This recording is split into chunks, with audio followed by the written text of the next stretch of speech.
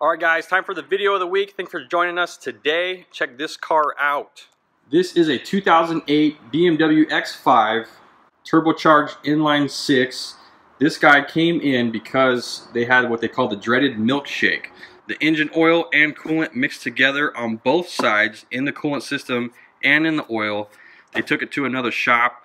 They said it, it needed a new engine, a blown head gasket.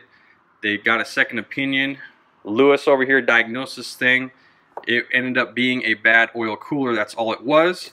We're able to save this engine by performing a couple oil flushes on the engine itself, putting a little thicker oil for the rest of the life of the engine, and also flushing out the coolant system of all that stuff. We're also going to recommend this customer come a thousand miles from now to do another oil service and another engine coolant flush just to make sure everything is good.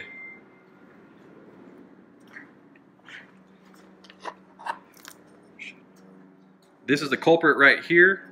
It had a little bit of electrolysis action uh, right here.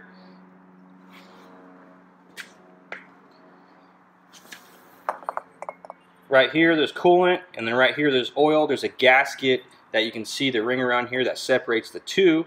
Um, the gasket pretty much just melted and the two mixed together right here.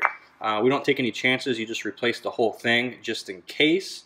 Besides, there's a lot of etching in here. You don't want to reuse this thing. This is a fine automobile. Lewis right here was the one that diagnosed and repaired this thing and brought it back to life. He's the man. Thanks for joining us today. Guys, if you ever thought of opening up your own repair shop, there's going to be a link below coming up soon. How to do it step by step.